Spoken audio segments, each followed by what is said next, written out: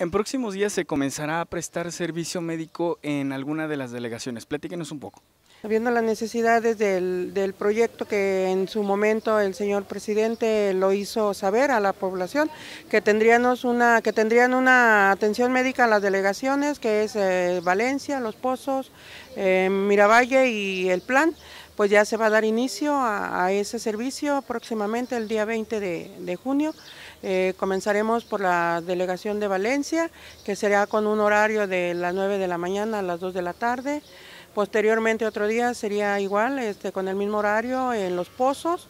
Este, seguimos en el mismo horario con Valencia, eh, con este Miravalle y posteriormente con el plan. Okay. ¿Esta atención médica en dónde se estará brindando? Es decir, ¿va a estar un módulo instalado en la plaza, en las delegaciones? ¿En dónde se brindará? Los, bueno, en lo que es Valencia va a estar en la Casa de Salud de Valencia, que este, ahí va a estar este, el médico eh, esperando pues sus pacientes. En, en, la, en Los Pozos igual, la Casa de Salud. En Valencia va a ser en la delegación. Digo, en perdón, en, este, en Miravalle en la delegación y en el plan también igual en la delegación. Okay. ¿La consulta tendrá algún costo o será completamente gratuito? El costo nada más es este cuota de recuperación, que son 25 pesos los que se van a cobrar. Okay.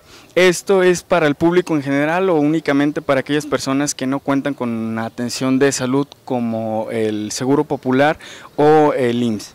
No, la atención va a ser abierta para el público en general, este, ya sea que tengan otros eh, servicios y eso, pero siempre hemos sido abiertos para toda la población. Ok, esto va a ser ya de, de, manera permanente, es decir, los martes va a estar siempre en el mismo lugar, a la misma hora, o va a estar cambiando? Eh, los lugares van a ser permanentes, el horario va a ser permanente hasta que, pues igual, este, si hay la respuesta, a lo mejor se ampliará el horario, se ampliarán los días, pero esto va a ser definitivo.